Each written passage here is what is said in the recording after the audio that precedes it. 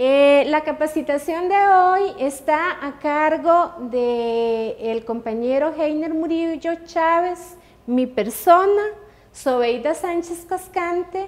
Ambos somos funcionarios de la Unidad de Desarrollo Metodológico y les vamos a presentar el tema de los mecanismos de coordinación eh, en el nivel nacional, regional y local de la DENEA, así como una investigación que se hizo sobre el tiempo que deben invertir los extensionistas en cada uno de estos mecanismos de coordinación.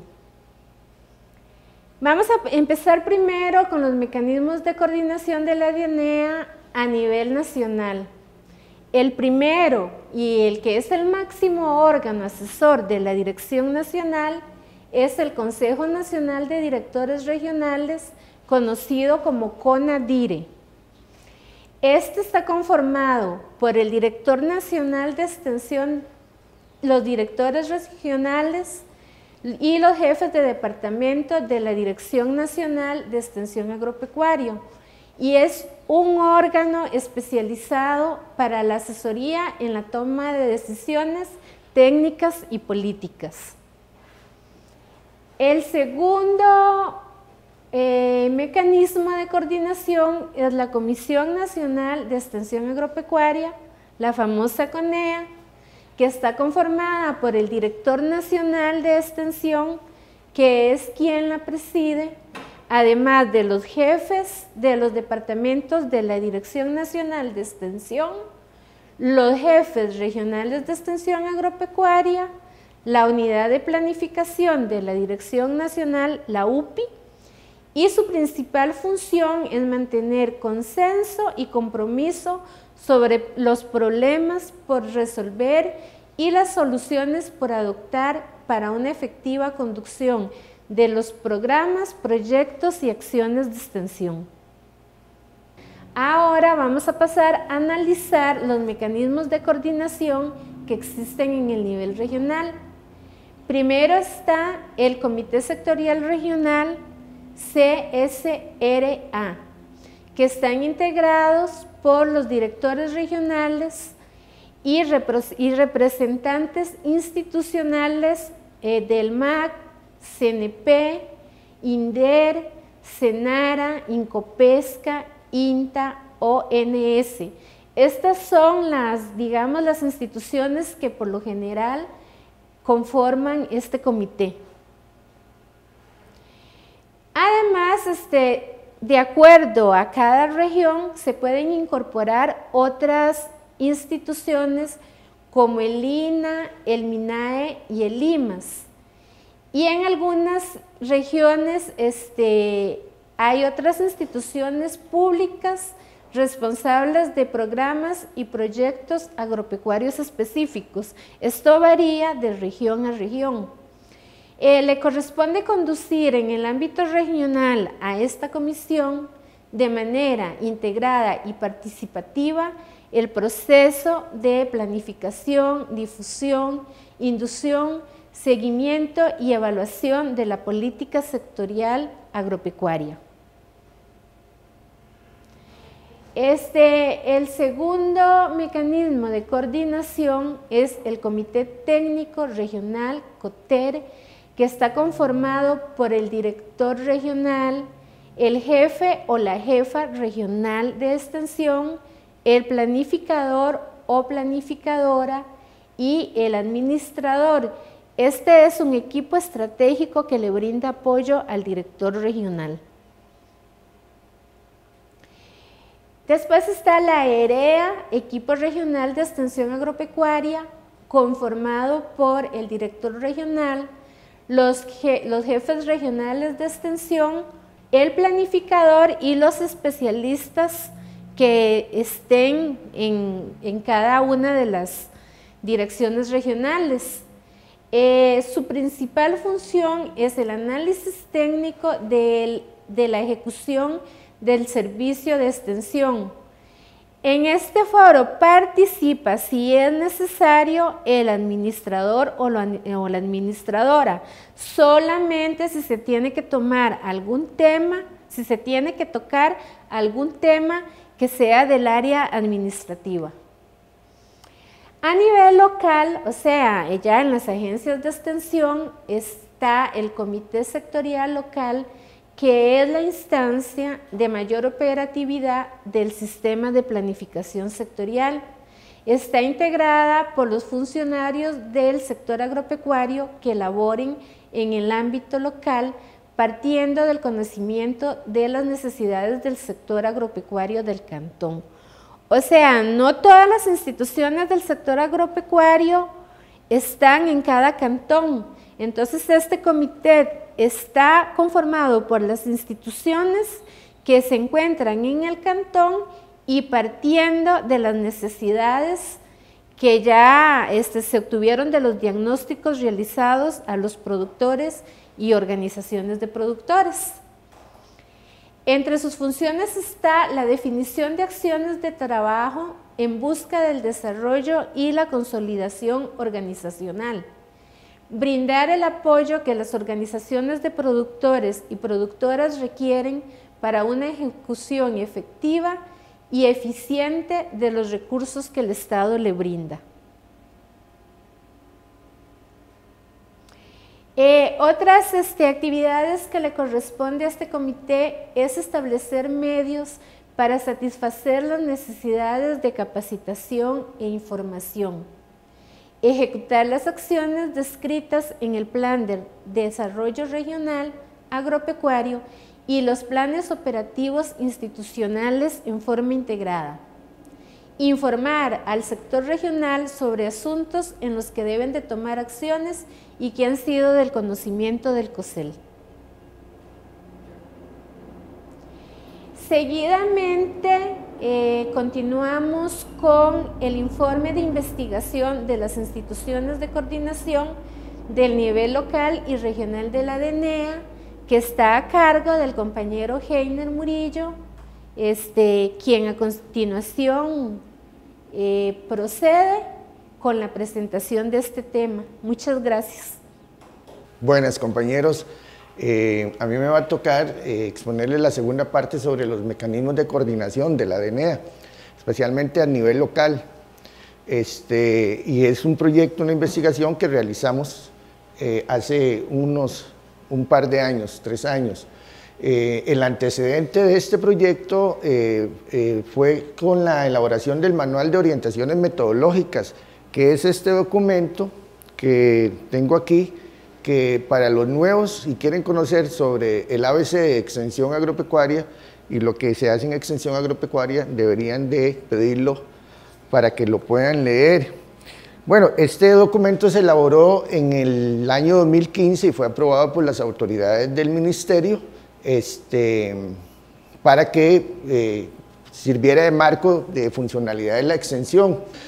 Eh, como parte de los antecedentes tenemos también que en el año 2017 eh, se hicieron unas entrevistas para determinar si se estaba aplicando este manual de orientaciones metodológicas. Eh, dentro de los hallazgos de estas entrevistas fue que se participaba por ley en varias comisiones que son del sector agropecuario y se nos expresó por parte de los agentes de extensión que en algunos había mucha duplicidad y eh, se gastaba mucho tiempo. Em, entonces se decidió hacer una, investigación eh, sobre el nivel de participación realmente de los funcionarios de la ANEA, especialmente los agentes de extensión agropecuarias, en los comités o instancias de coordinación tanto del, MAC, algunos como los que ya explicó Zobeida y otros que son del sector agropecuario y que se tiene que participar, con el propósito de conocer ese nivel de participación. El objetivo de la investigación se centró en determinar cuáles eran las comisiones, instancias o grupos de trabajo o otros entes de coordinación en que participan los funcionarios de las agencias de extensión agropecuaria, con la finalidad de identificar la redundancia, la duplicidad y proponer acciones correctivas al respecto. Eh, la metodología de trabajo eh, se elaboró un cuestionario para aplicar a los, a los funcionarios, agentes de extensión, Y bueno, una vez elaborado ese cuestionario, se socializó eh, con los jefes de extensión de las regiones para que hicieran observaciones. Una vez que se realizaron esas observaciones, se mejoró el documento y se hizo una prueba a ocho agentes de extensión de todo el país y este, ya con el, cuestionario probado, pues se hace una distribución masiva a todos los agentes de extensión mediante el programa Form Office, ¿verdad? Y bueno, después el análisis de datos. Em, dentro de los datos generales que arrojó este estudio sobre la participación de los agentes de extensión en estas comisiones, es que hay 10 comisiones creadas por ley o por decreto, ¿verdad? Y eh, estas eh, comisiones, eh, que la vamos a ver más, más adelante, aparte de estas comisiones, hay otros grupos de comisiones que no están dadas ni, por ley ni por decreto, sino más por directrices para resolver asuntos locales eh, del área de influencia de la agencia, ¿verdad? Y ahora los vamos a ver. En total, tenemos que hay 377 comisiones a nivel nacional distribuidas entre las ocho regiones. de estas, 377 eh, comisiones, la que mayor peso tiene de participación es precisamente los COSEL, ¿verdad? que es dirigida por el, agente de extensión en cada, en, cada, en cada cantón o en cada área de influencia. Aparte de los COSELes, este, la Comisión de Emergencias, ¿verdad? Eh, la CNE, eh, está también muy representativo en la mayoría de las eh, agencias de extensión, los cantones, con un 17.5 y el siguiente es el, los SCI, ¿verdad? que es la Comisión de Coordinación este, Interinstitucional Cantonal este, con un 12.7. Las comisiones 1 y las comisiones 2 eh, juntas tienen un 16%, por, tienen un 16% ¿verdad? Y este, los consejos técnicos locales del INDER, eh, que los agentes de extensión también tienen que participar por ley, eh, hay un 10.9 de agencias que dicen que participan en, en estas instancias. Entonces, las comisiones con menor participación son la Comisión de Empleo y Crecimiento Económico y Social, que es una comisión que implementa el Ministerio de Planificación y donde los agentes de extensión o el jefe eh, regional es quien la eh, debe coordinar. Después hay otras comisiones como quemas, eh, la Comisión Agroambiental, quemas y los COSAN, que son los consejos de los consejos de alimentación, eh, seguridad alimentaria nacional, apenas con un 4.8 eh, eh, de participación. Si lo vemos por regiones, de las 377 comités que existen a nivel nacional, la región central occidental es la que más comités tiene, un 69, 69 comisiones y este, seguida por la Chorotega con 57 eh, comisiones. Eh, la Pacífico Central con 52 comisiones y las que menos tienen es este, la Huertar Caribe con apenas 20 comisiones y la Huertar Norte apenas con 36 comisiones. Es decir, no hay un balance general eh, en las regiones sobre la participación de los agentes de extensión, sino que este puede variar de acuerdo a la región y de acuerdo a las circunstancias eh, de, la, de, las, de comisiones eh, de coordinación de, trabajo.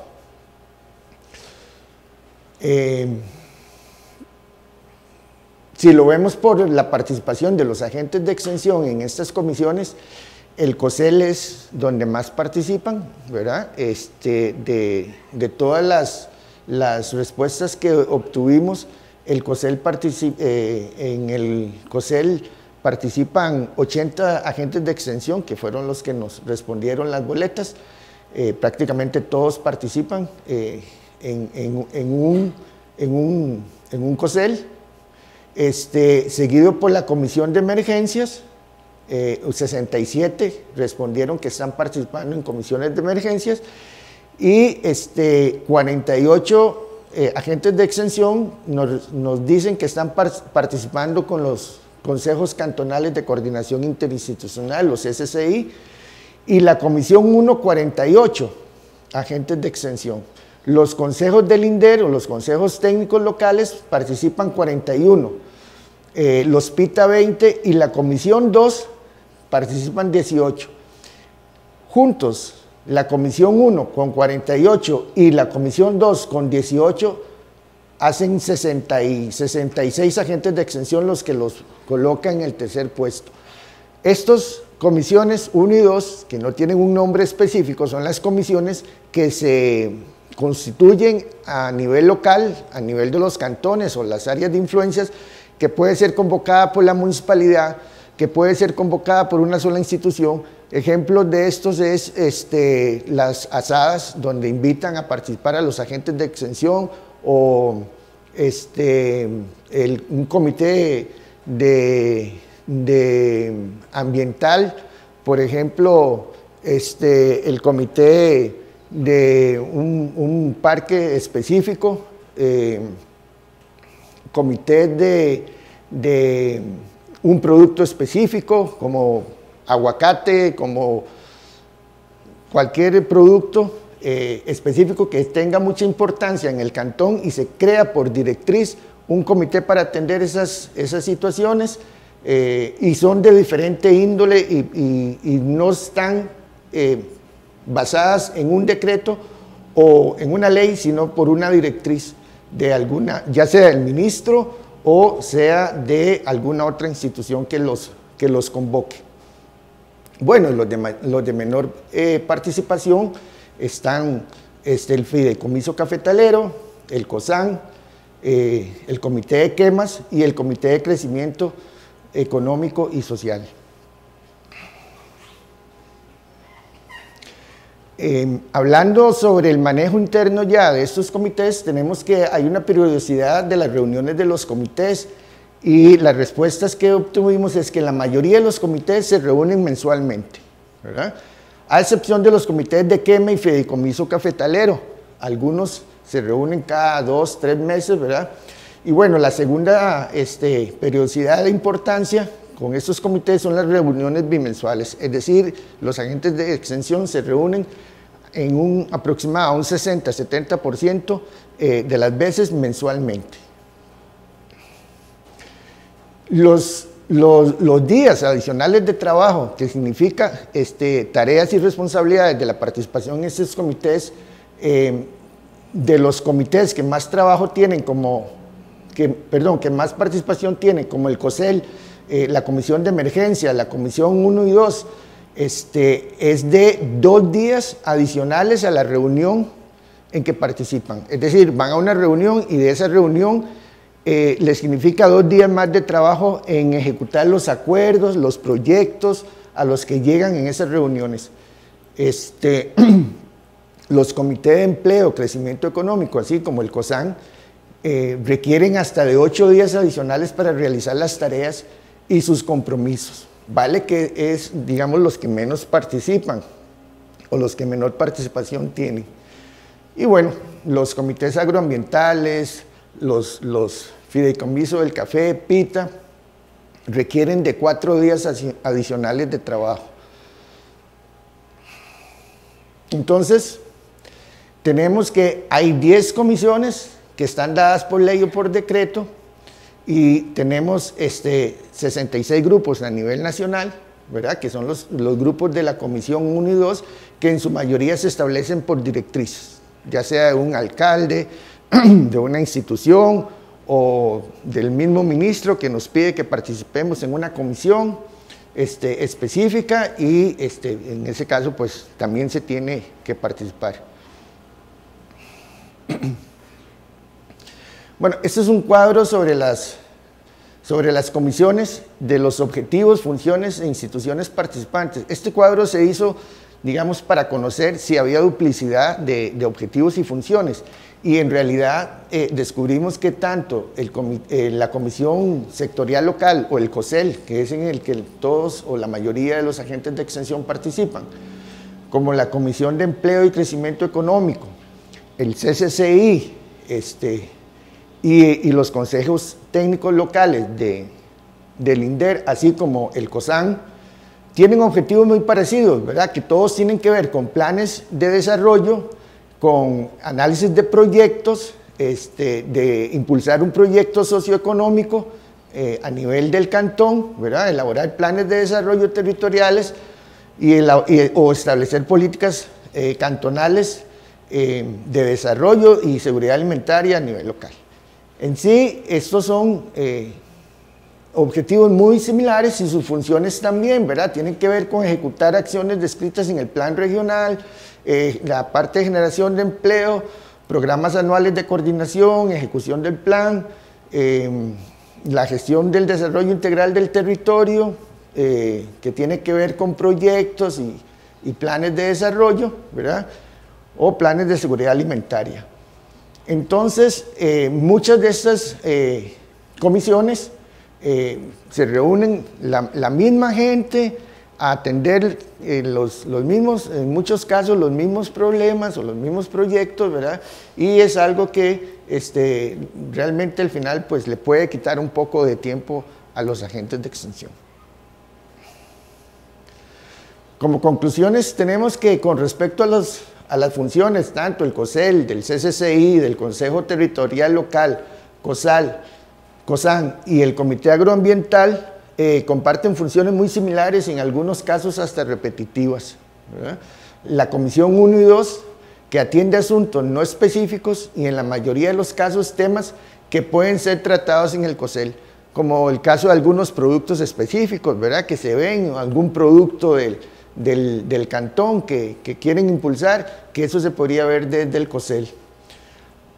Importante es que hay 13 pitas establecidos en todo el país donde participan 20 agentes de extensión. Eso quiere decir que hay regiones o hay pitas donde participan agentes de extensión eh, en una región o diferentes regiones, ¿verdad? Como el caso del frijol, que hay gente de la zona norte, de los, de los chiles, de Upala, pero también hay gente de, de Pérez Celedón y entonces hay un proceso de integración, no solo a nivel de agentes de extensión, sino un proceso de integración entre la investigación y la extensión en las diferentes partes del país. Y bueno, este, en promedio los agentes atienden entre 6 y 8 comités eh, y las reuniones son mensuales y duran aproximadamente 4 horas. Esto quiere decir que hay agentes que se dedican entre 24 y 44 horas mensuales en atención solo a reuniones de los, de los comités, ¿verdad? Eh, y si le agregamos los días, pues nos va a dar un, un periodo de trabajo muy fuerte a la atención de estos grupos. Y hay agentes de extensión que tienen un solo comité de coordinación y algunos dos y otros tres y encontramos casos en que un solo agente de extensión atiende 10 o más comités de, trabajo, ¿verdad? Y un buen grupo o la mayoría atiende entre 6 y 8 comités, ¿verdad? Que son 4 horas por cada comité y que son aproximadamente 2 días por cada comité este, de trabajo adicional. Entonces, esto se, puede volver en una carga muy pesada para los agentes de extensión. Bueno, esto es eh,